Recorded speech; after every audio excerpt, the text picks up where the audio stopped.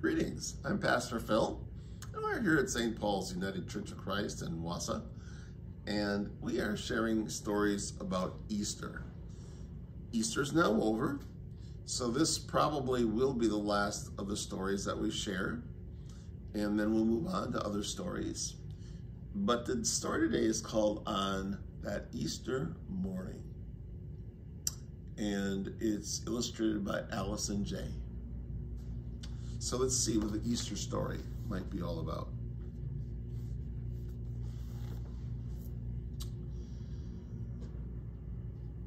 Jesus was a wonderful storyteller. He welcomed everybody. We believe he can work miracles. He is someone who's changed our world, said Jesus' followers. He speaks of God's love for all of us and a God's forgiveness. Here's a picture of Jesus speaking to a group of people on the lake shore. Now remember Palm Sunday, and remember on Palm Sunday, Jesus comes into the city all waving palm branches. Everybody is welcoming him. It was time for the great Jewish festival of Passover. Jesus and the disciples made the journey Jesus asked two of them to go and get a donkey for them to ride into Jerusalem. Other travelers noticed him. It's Jesus, they said. He's riding to the city of King David. Riding, not walking. Perhaps that's a sign that Jesus is God's new king. So some took off their cloaks and they threw them on the ground. Others cut off branches, palm branches, and they waved them high in the air. And as Jesus rode up the city gate, there was a joyful uproar. People were shouting, God bless the King who comes in the name of the Lord.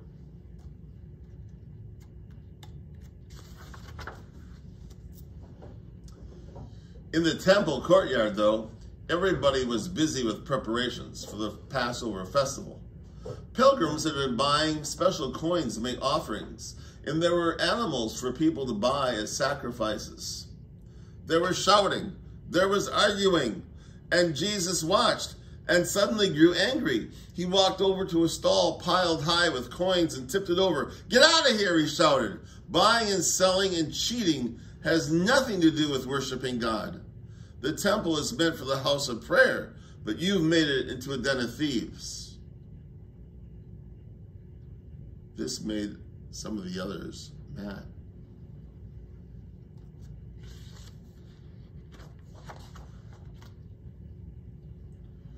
Jesus continued to teach the crowds. He told them about the right ways to live as Jesus' friends. Meanwhile, his enemies were putting up their plans. These religious leaders and priests were delighted when one of Jesus' disciples, Judas, came to visit.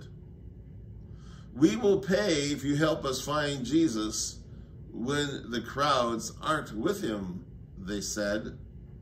And a secret deal was made.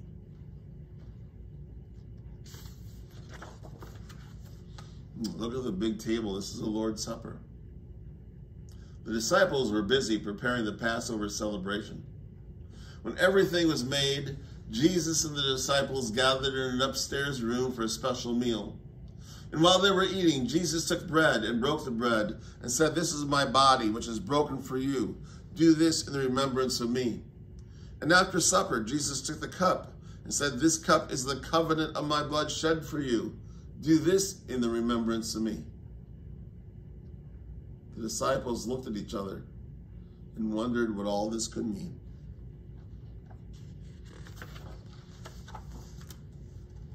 That night, Jesus and the disciples went to a shady olive grove. The disciples fell asleep, but Jesus spent the long hours praying to God.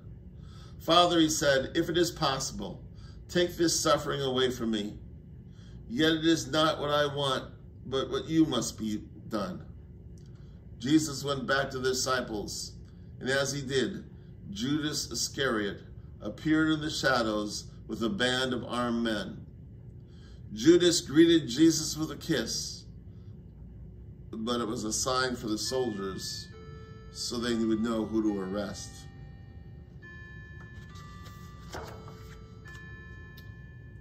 The other disciples were afraid, and they ran away, but Peter followed at a distance.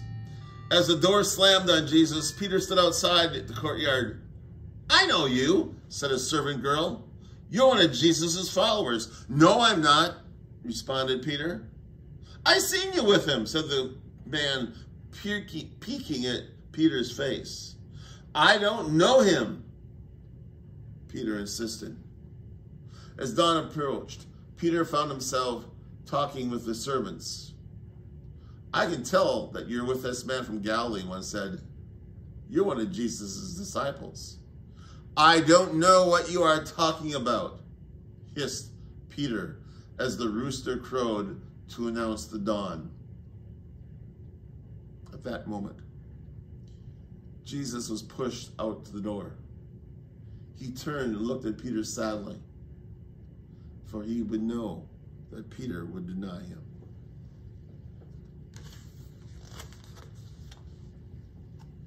The religious leaders and the chief priests took Jesus to stand in trial before the Roman governor Pontius Pilate.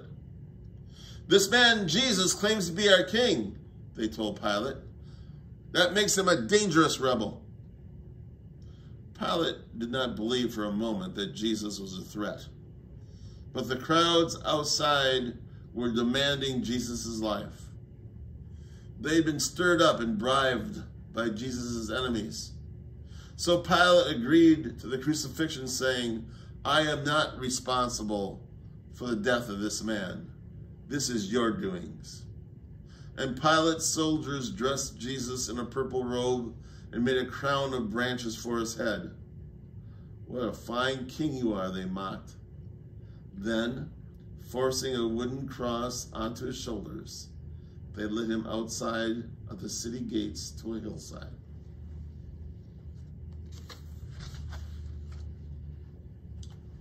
The crowds laughed at Jesus as they followed.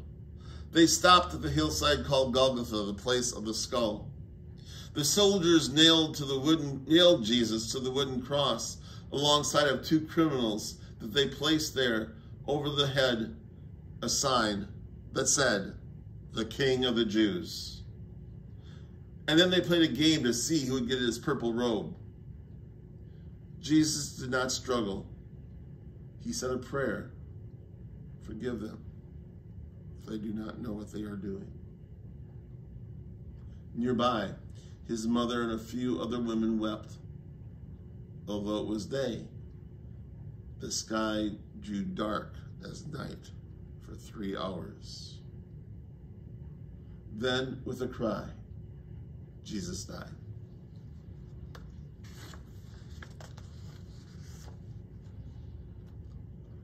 Jesus was laid in a tomb cut out of solid rock. His friends wept as the stone was rolled into place. The next day was the Sabbath day. It was a day of rest. Very early on the day following the Sabbath, the women who'd been following Jesus came back. To their surprise, they found the grave was empty. As they looked inside, the grave where Jesus was, was completely empty. There at Jesus' feet were some linen cloths, and there was an angel who said, do not be afraid. I know who you're looking for. You're looking for Jesus, who is crucified, but he is not here. He is risen. And the women were amazed and went off to tell the story to the disciples. Well, that ends our Easter Sunday story time about Easter Sunday, and of course the fact that the grave was empty. So on that Easter Sunday morning, just as the title refers, there are lots of things to celebrate, and that includes the fact that that grave was empty, which guarantees for each of us the opportunity for new life after death too. That's my story today. I hope you enjoyed the Lenten and the Easter series of stories we read. God bless. Take care. See you later. Bye for now.